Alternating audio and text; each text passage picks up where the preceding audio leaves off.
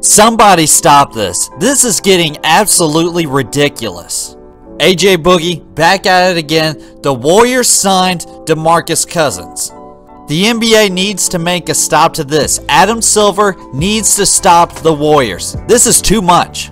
The Warriors are breaking the NBA. They are taking all competitiveness out of it.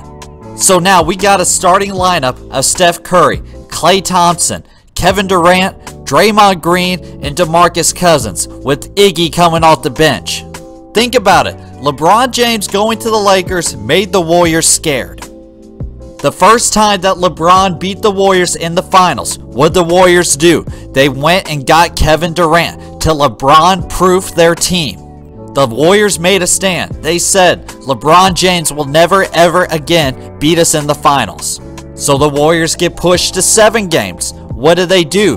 They make it a league-wide proof that no one will beat them. This is just ridiculous. The competitiveness of the NBA has just gone crazy. Thank you, Warriors. How does the NBA reject Chris Paul going to the Lakers? Prime Chris Paul, prime Kobe Bryant. They reject that, but they let this crap fly? I made a video earlier. It was one of my first videos. Why I hate the Golden State Warriors. I feel like I have to make another one now because this is just a pathetic move.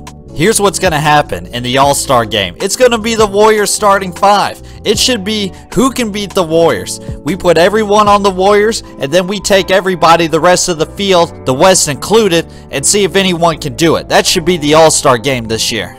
That'll be more interesting than any other regular season game this year, especially the Warriors. I don't know who to be mad at. I can't point a finger anymore. Should I be mad at the Warriors? Should I be mad at DeMarcus Cousins? Should I be mad at Kevin Durant for starting this crap?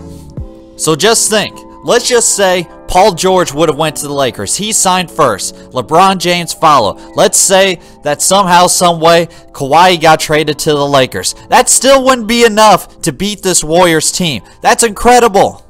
The Rockets have no chance of beating the Warriors in a seven-game series. Someone tell me how the Warriors aren't going to win every game this season.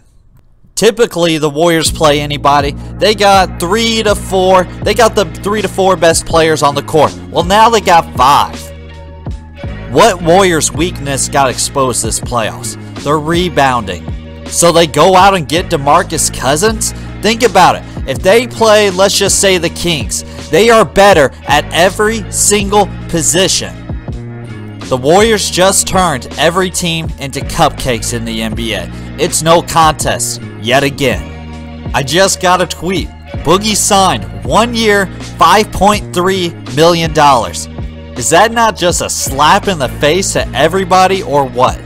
How much easier are the Warriors going to make it for themselves? The competitiveness is gone. Someone tell me why they can't go 82 and 0. You can call me a hater.